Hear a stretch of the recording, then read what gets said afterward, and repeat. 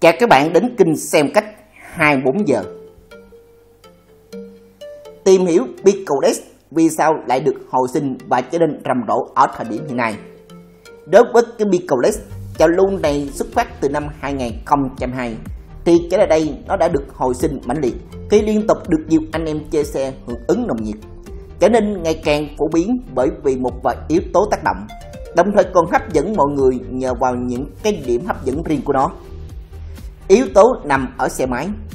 Trên những cái mẫu xe thời mới, tất cả hãng xe đều phát triển hệ thống dây điện, mâm lửa, sạc cho bình ắc quy một cách là mạnh mẽ và bền bỉ. Nếu như anh em muốn nâng cấp Picolet thì chỉ cần xử lý là cái phần chói xin, bấm sắt, phần dây điện. Không phải chịu nhiều cái hạng mục phát sinh như thêm cái sạc hay lên thêm cái bình như cái thời điểm trước đây. Nó cũng nhờ một lý do không phát sinh thêm cái sạc hay là bình ắc quy nên muốn gắn cái phần Picolet lên chiếc xe cần của mình. Anh em chỉ tốn phí khoảng là 3 triệu đồng trở lên thì có thể lắp đặt hoàn chỉnh lên con xe cần. không cần phải thay cái bình ắc quy, không cần phải thay xe khác và cũng là một trong những cái ưu điểm giúp hệ thống điện trên xe luôn ổn định trong cái tình trạng à, tốt nhất.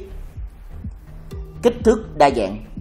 Picolet hiện nay được sản xuất với cái số lượng rất đa dạng, trải dài từ kích thước là 1.5 inch 2.0 inch 2.5 inch 3.0 inch và 4.0 inch.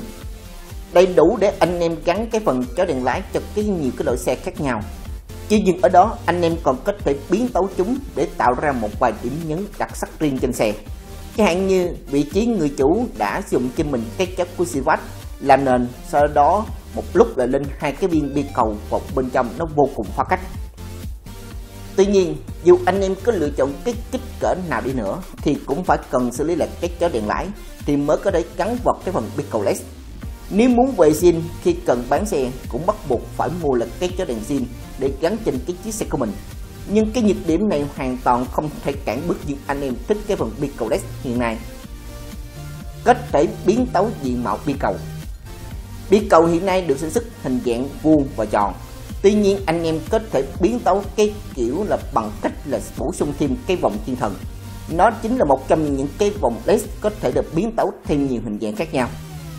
Ngoài ra cái kiểu dáng cái vòng thiên thần ôm sát với cầu LED, anh em còn có thể sáng tạo cái kiểu vòng là lục giác và cái hình là bầu dục như cái bi cầu trên cái chiếc là ô tô BMW. Ngoài ra cái vòng thiên thần còn cho phép anh em gia công thêm nhiều cái ký tự chẳng hạn là quỷ sủ và cái sự sáng tạo của bản thân trên hệ thống cái đèn lái. Có thể thay đổi màu sắc đa dạng bằng cách gắn mắt quỷ.